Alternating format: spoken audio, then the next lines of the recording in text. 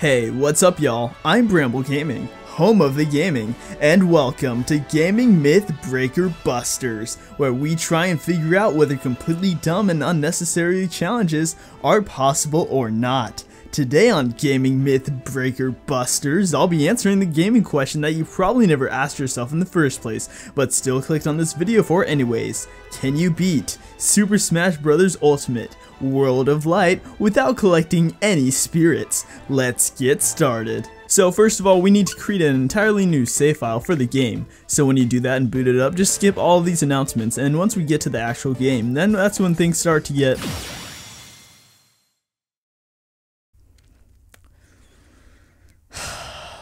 I guess you can say that today's Gaming Myth Breaker Buster Gamer Breakers was a mission failed.